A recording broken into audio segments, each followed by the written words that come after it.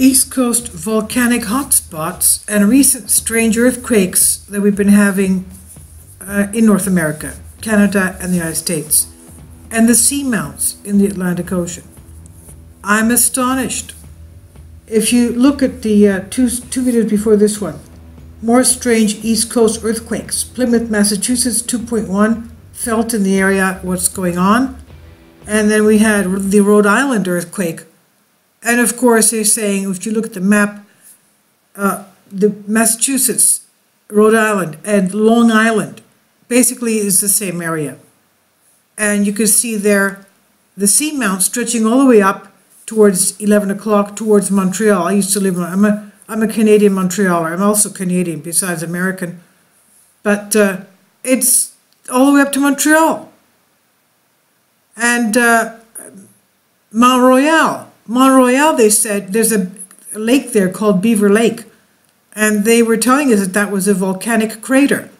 Others said yes, others said no, and now I, we say this this image says yes, it's a volcanic crater going all the way to Mont Royal in Montreal.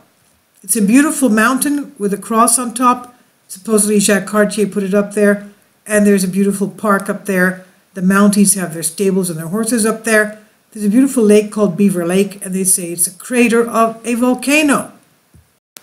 Now, this is from Wikipedia, and they say here the portion of the track of the New England hotspot, the westernmost white dot, as you can see up there about 11 o'clock, is Mont Royal in Montreal.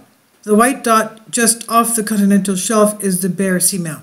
Okay, so you can see that's where we're having a lot of quakes is at that section of the seamount. And uh, this could be answering us why we're getting these very strange quakes there, let alone that we have five volcanoes in Maine, which is only a, from New Brunswick to New Hampshire is only 200 meters across, five volcanoes there. Four of them are in a 100 uh, uh, mile distance uh, occupying that area. I'm shocked. What can I tell you? Uh, let's go and look at them together. I'm not a geologist, but you know, um, we do find the information when we uh, research and we gain knowledge that way because we live in this area, these areas.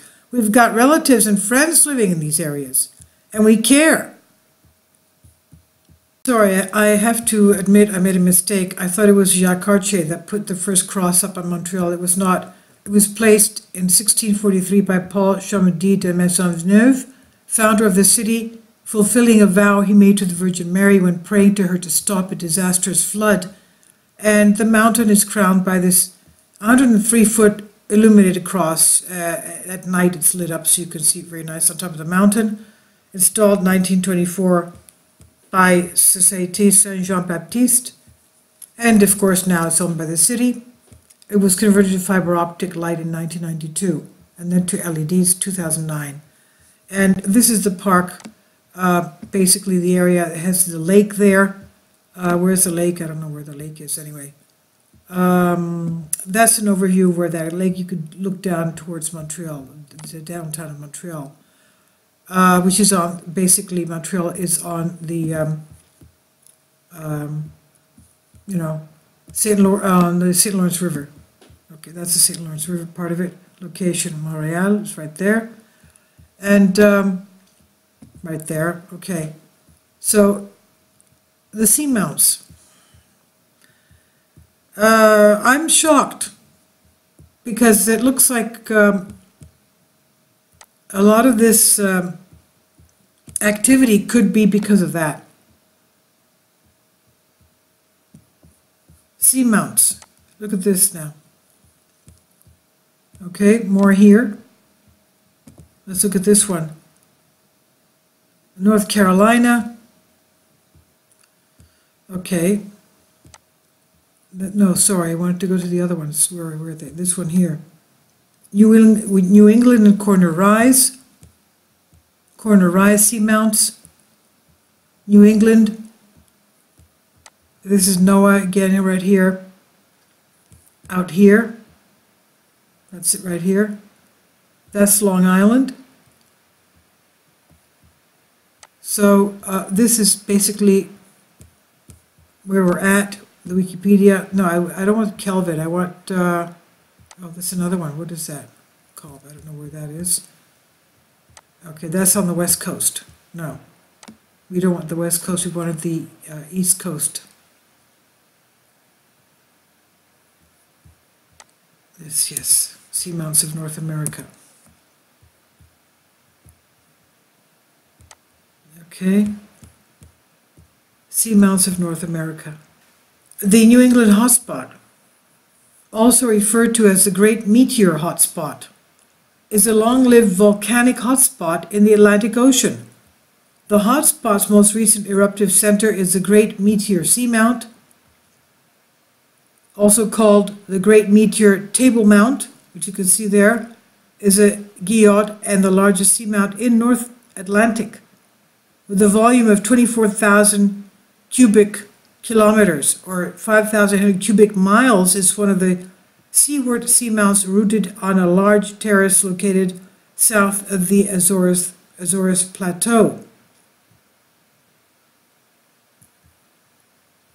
It's probably created a short line of the to, of mid to late Cenozoic age seamounts in the of the on the African plate, but appears to be currently inactive. The New England hotspot track. There we go. The places known as hotspots are volcanic regions thought to be fed by underlying mantle that is anomalously hot compared to the surrounding mantle. A hotspot track results if such a region is moving relative to the mantle. So there's a hotspot there. That's, that's like, a, you know, as our friend Terrell Blackstar would say, a magma corridor. So uh, the New England hotspot track is used to estimate the movement of the North American plate away from the African plate.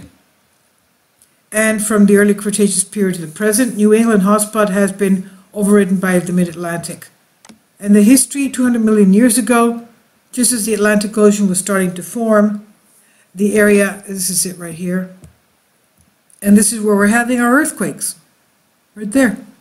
Rhode Island, we had Pennsylvania, we had uh, now uh, Plymouth, Massachusetts. Okay. Um, and of course, we had the, um, let's go to Canada.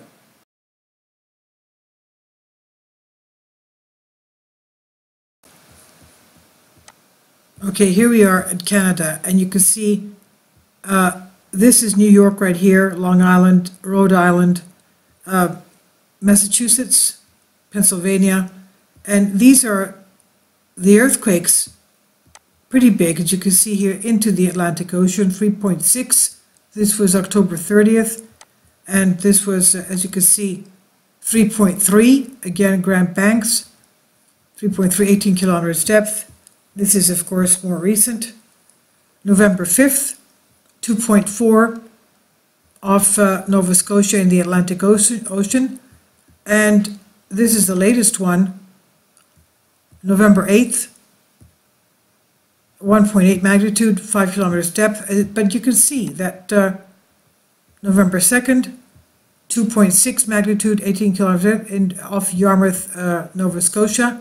But you can see that um, is pretty active along that area. Right here. Right here. Now, geologic history, about 200 million years ago, just as the Atlantic Ocean was starting to form, the area northwest of Hudson Bay, the area northwest, this is Hudson Bay, northwest of Hudson Bay, northwest of Hudson Bay. By the way, this is, uh, was formed by a, a, a comet impact about 13,000 years ago around the Younger Dryas. They found soot all along North America, indicating that all the, the area here was burnt from that impact. And they thought it was only uh, North America. Then they thought it was the Northern Hemisphere. Then they were, found it was worldwide. And that that comet uh, broke up into several pieces and hit the world, world worldwide. One of them is here. Hudson Bay was formed that way. But, um, right there, okay. So that's Hudson Bay. The area northwest of Hudson Bay was over the New England hotspot. Hudson Bay, let's pull out a little bit, was over this. Can you imagine how, how the earth has grown? Amazing. Hudson Bay was over the New England hotspot. About 15 million years later, as the Atlantic Ocean opened slightly, the plume was under present day Ontario. Ontario. That's Quebec. This is Ontario. Can you imagine how fast, how fast it's been growing? 50 million years later over um, Ontario, creating numerous kimberlite fields. What are kimberlite? Remember kimberlite? We have kimberlite explosive volcanoes in Kansas. When people were hearing those uh, little few days back, uh, maybe a week or you know, two weeks, I made a video on that. And we figured that it could have been the booming sounds in their houses shaking with the booming supersonic booms that they kept heard hearing. They thought it was overhead, uh, you know, supersonic jets. It wasn't. And it could be, we found that there were kimberlite volcanoes in Kansas, especially around the northwestern third of the state. And the kimberlite volcanoes produce diamonds and gems and semi-precious stones. And they have explosive eruptions. And it could be the gas trying to come out from there explosively rocking the land. You know, they don't see anything. It's just the gas trying to come out, which could be bubbles that are miles wide. Um, so, Kimber, present-day Ontario creating numerous kimberlite fields. Kimberlite is an igneous rock which sometimes contains diamonds.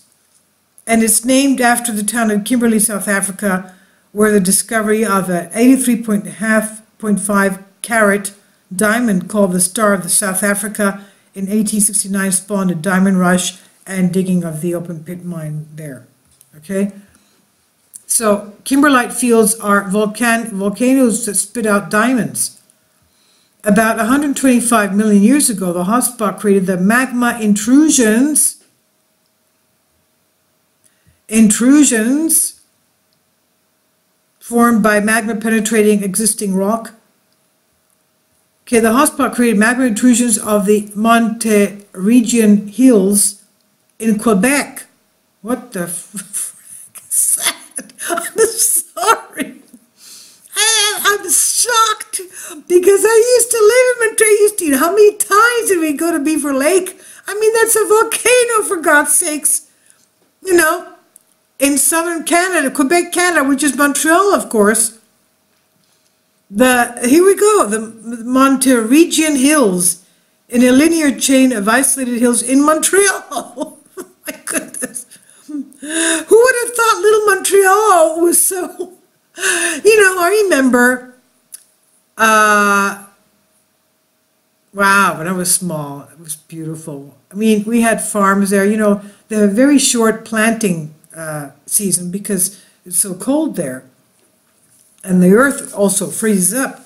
But as we said, it's very soft and there's a lot of water in it. But we had, a, we had farms there that had horses. And the man was plowing his fields with horses, pulling the plow. And the horses, the poor little animals, little beasties, had so much hair on them, especially on their legs. They had so much hair on their legs. And I was so happy to see them, at least they weren't being cold, with their, all the hair on their legs, the horses, that is. Um, anyway, the Montérégie Hills, a linear chain of isolated hills in Montreal, and Montérégie between the Laurentians and the Appalachians. Okay. They're hot spots. Look at them.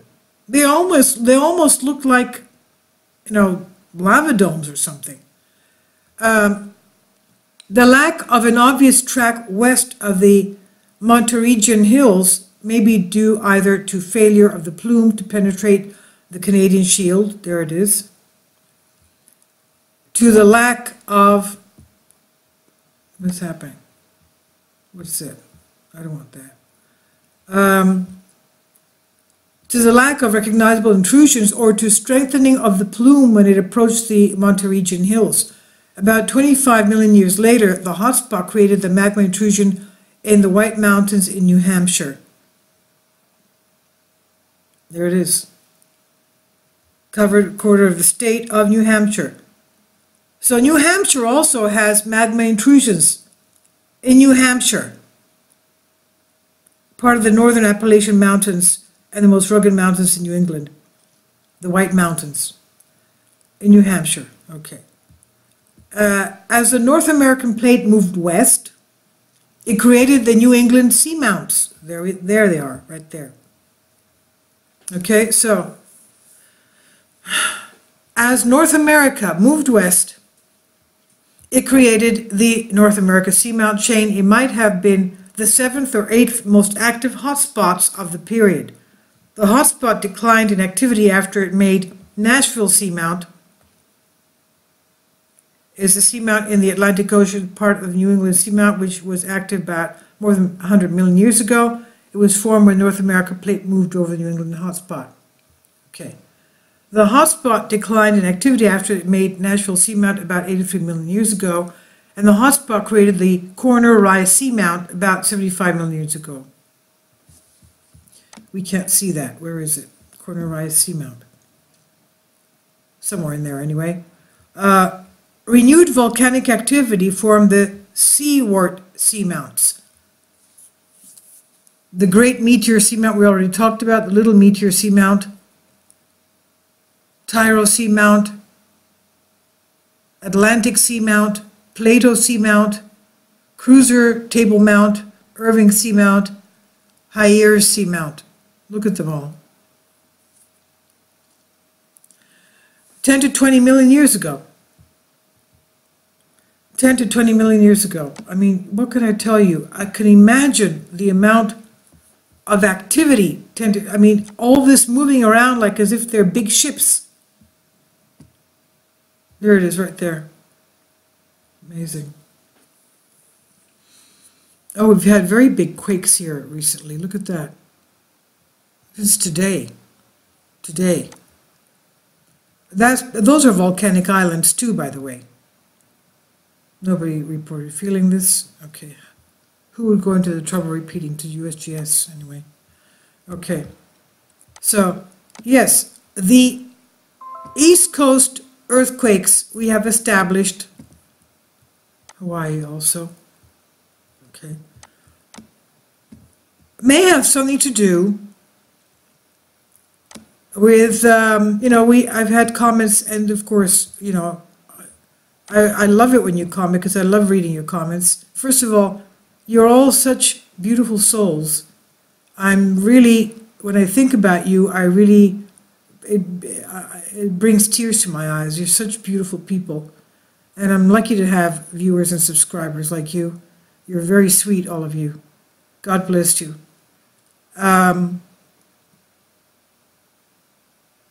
yeah, one one person said, yeah, it could be the west coast. You know, the magma plumes pushing, crun- uh, uh, cr- um, crumbling, uh, sort of pushing in, and perhaps this is, that's what's caused the uptick here, and maybe even pushing all the way there. Okay, yeah, of course it's possible, but also, um, I don't know. I'm not a geologist, but maybe it's um, has to do with the seamounts there as well. We'll have to keep a lookout of this because this is very strange activity.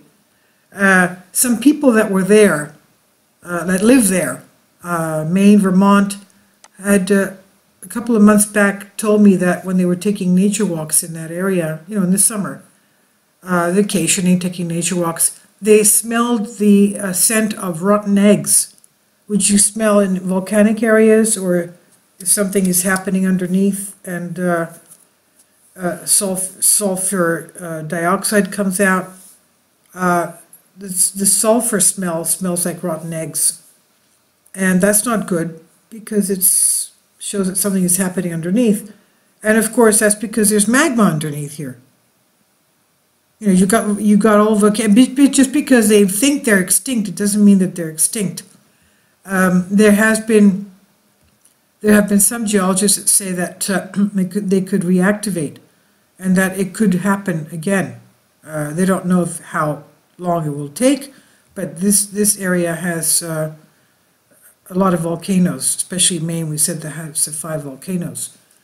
Okay, so maybe it has to do with the seamounts of the New England um, hotspots.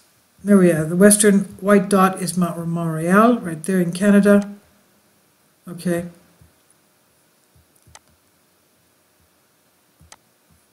So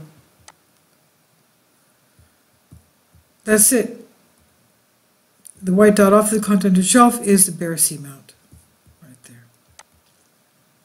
Bear Seamount, Kelvin Seamount, Bear Seamount, Manning. And that's Massachusetts right there, Cape Cod.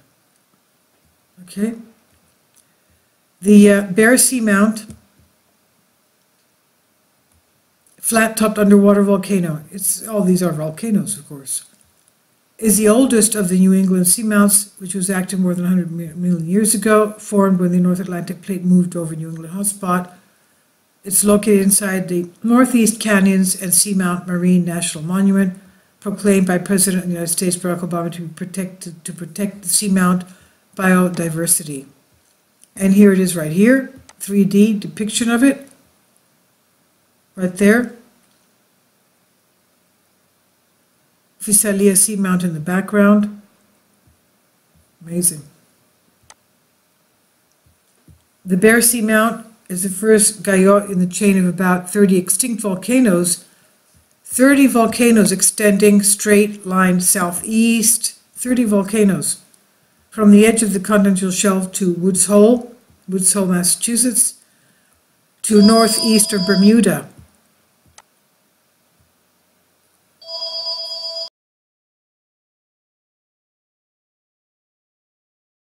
So 30 extinct volcanoes, straight line southeastward from the continental shelf near Woods Hole, Massachusetts, to northeast of Bermuda. The seamounts result from the movement of the mantle plume hotspot. This hotspot is now under the Great Meteor Seamount, right there. The chain rises about 4,000 meters, 13,000 feet above the surrounding Sohm abysmal plain, and over the time they have been eroded and have developed the flat table-like summits surrounded by slopes with an inclination of about 20 degrees. The currents in the vicinity of the Bear Seamount include the warm water Gulf Stream flowing towards the northeast, the deep boundary current flowing along the continental shelf towards the southwest, and the deep icy cold Arctic bottom water flowing past the lower flanks of the chain.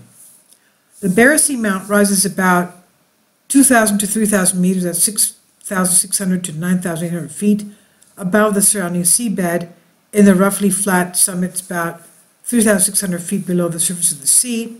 The top is covered by a deep layer of sediment through which the basalt rocks and erratic boulders protrude.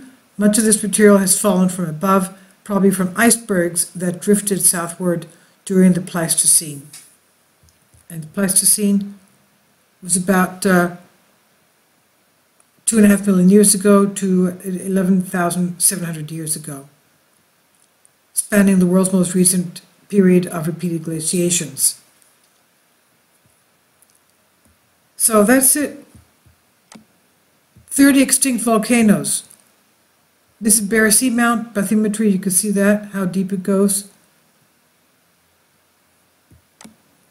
So maybe that has to do with why we're getting earthquakes uh, in um, the northeast, on the east coast in the northeast. Besides, of course, the uptick in the New Madrid seismic zone, something is happening here as well.